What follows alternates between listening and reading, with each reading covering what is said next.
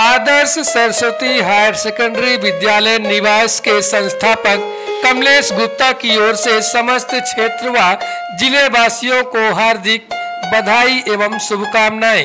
वही विद्यालय के संस्थापक कमलेश गुप्ता ने समस्त क्षेत्र वासियों से कहा, हम सभी भारतीयों के लिए यह 15 अगस्त 2022 का बहुत ही महत्वपूर्ण दिन होने जा रहा है, क्योंकि इस 15 अगस्त को हम आज़ादी के 75 साल पूरे करने जा रहे हैं। वही बहुत ही गर्व की बात है कहा, और आज़ादी के इस अमृत महोत्सव को मनाने के लिए हर घर तिरंगा फहरा कर मनाया जा रहा है।